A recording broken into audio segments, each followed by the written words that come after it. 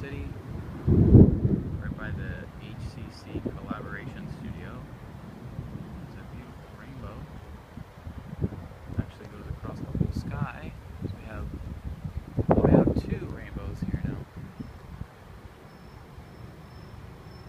Brilliantly lit here by the sun. And as you can see, it is according to my calculations, there should be a pot of gold right on the other side of Fritz.